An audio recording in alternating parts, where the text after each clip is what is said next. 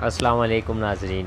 آپ دیکھ رہے ہیں ہربل ویلی۔ سب سے پہلے جن لوگوں نے میرا چینل سبسکرائب نہیں کیا کائنڈلی وہ سبسکرائب کریں لائک کریں شیئر کریں، تاکہ میری کوئی بھی ویڈیو اپڈیٹس آپ کو بآسانی مل سکے۔ ناظرین، آج میں آپ کی خدمت میں حاضر ہوں۔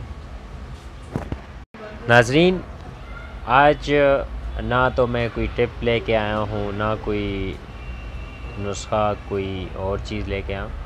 آج دین کے بارے میں کچھ باتیں آپ سے شیئر کرنا چاہتا ہوں۔ تو دل کر رہا تھا کہ آپ سے دین کے حوالے سے تھوڑی بہت باتیں کر لوں۔ تو ناظرین، دین ہمارا جو ہے اسلام، یہ ایک ایک مکمل ہے۔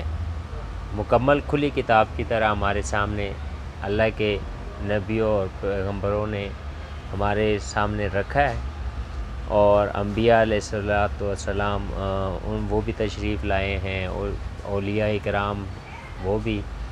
تو ناظرین، آج تھوڑے سے میں آپ کو وظیفے بتاؤں گا۔ جو وظیفے ہیں، یہ آپ کریں انشاءاللہ۔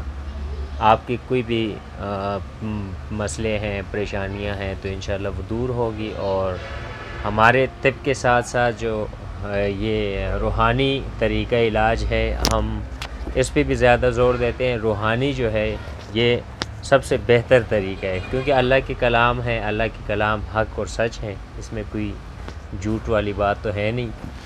تو ناظرین، چلتے ہیں۔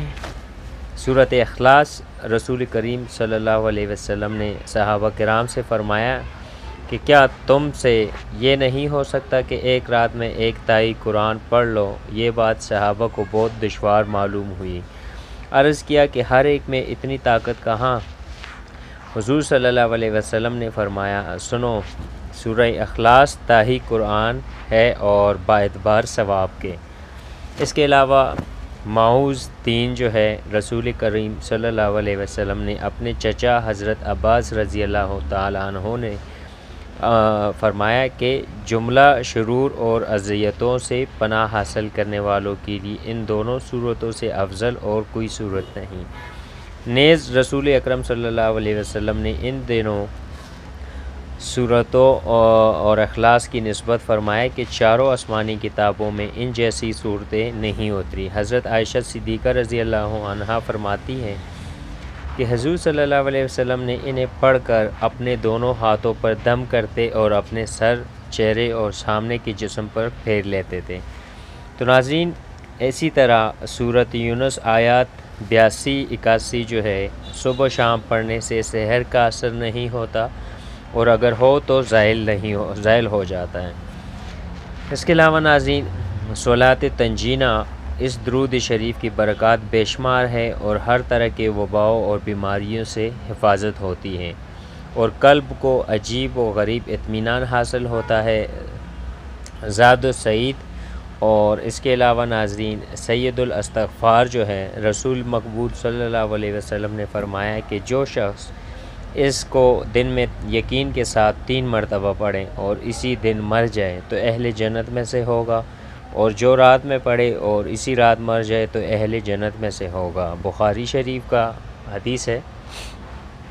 ناظرین، حسبی اللہ لا الہ اللہ جو شخص صبح و شام یہ دعا سات مرتبہ پڑھ لیں تو اللہ تعالیٰ اس کے دنیا و آخرت کے غم کے لیے کافی ہو جائیں گے۔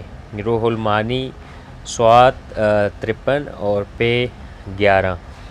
اس کے علاوہ ناظرین، بسم اللہ الزی لا یزر رسول مقبول صلی اللہ علیہ وسلم نے فرمایا کہ جو کوئی بھی صبح شام تین تین مرتبہ اس اس کو پڑھے، اسے کوئی ضرر نہ پہنچے گا۔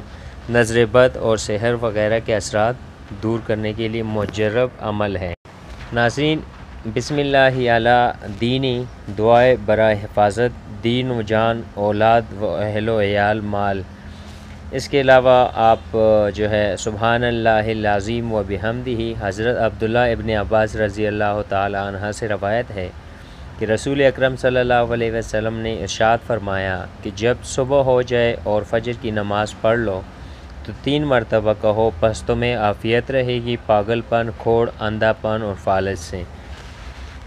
تو ناظرین، لا حول ولا قوت الا باللہ حضرت ابو حریرہ رضی اللہ تعالیٰ عنہ سے روایت ہے کہ مجھ سے رسول خدا صلی اللہ علیہ وسلم نے فرمایا کہ لا حول ولا قوت الا باللہ، کثرت سے پڑھا کرو، یہ جنت کے خزانے ہیں۔ اللہم انی اعوذ بکا من جہد البلاء۔ حضور صلی اللہ علیہ وسلم نے ارشاد فرمایا کہ اے لوگو، پناہ مانگو، سخت ابتلا سے اور بدبختی کے پکڑ لینے سے اور ہر اس قضا سے جو تمہاری لیے مضر ہو اور دشمنوں کے تان و تشنی جو ہے، اس سے آپ بچیں۔ اللہم اہلینی رشدی، حسین نامی ایک شخص سے قبل قبول اسلام رسول صلی اللہ علیہ وسلم نے فرمایا کہ، اے حسین، اگر تو نے اسلام قبول کیا تو میں نے تجھے ایسے دو کلمات بتاؤں گا جو تجھے بہت نفع پہنچائیں گے۔ جب اس نے اسلام قبول کیا تو عرض کیا، یا رسول اللہ صلی اللہ علیہ وسلم، وہ دو کلمات مجھے بتا دیجیے، جن کے بتانے کا آپ نے مجھ سے وعدہ فرمایا تھا۔ رسول اللہ صلی اللہ علیہ وسلم نے فرمایا، یہ دو کلمے پڑھ لیا کرو، ان میں سے تمہیں بے شمار دینی و دنیاوی فوائد حاصل ہوں گے۔